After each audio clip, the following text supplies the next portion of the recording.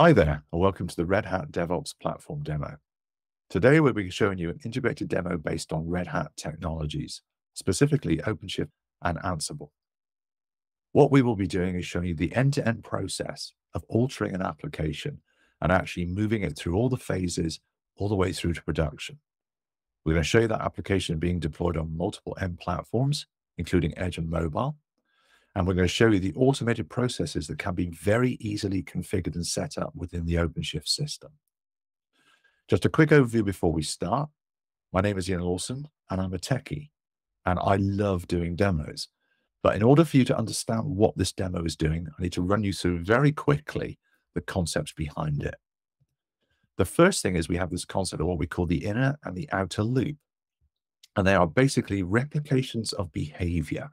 On the inner loop, a developer actually works. They produce the code, they build, they test, they do all the kind of things from a development perspective. And in this demo, you'll see it integrated fully into OpenShift. At the point at which they're happy with that code, they push the actual physical code into an end repo. At that point, the outer loop kicks in. And what the outer loop does is it processes that code, it generates the images, it reviews it, it builds it, it tests for compliance, it applies security protocols. And when it's happy with those itself, there's an automated process by which it's deployed to end systems.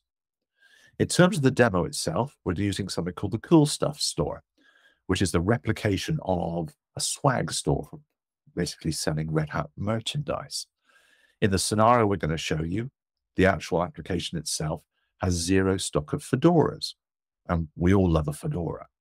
So what we're going to do from a code basis is change the stock levels, push the code into a repo, and then have the automated sequence in place.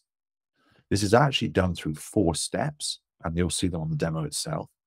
The first step is develop a code change, the build, the test, the scan, and the kickoff.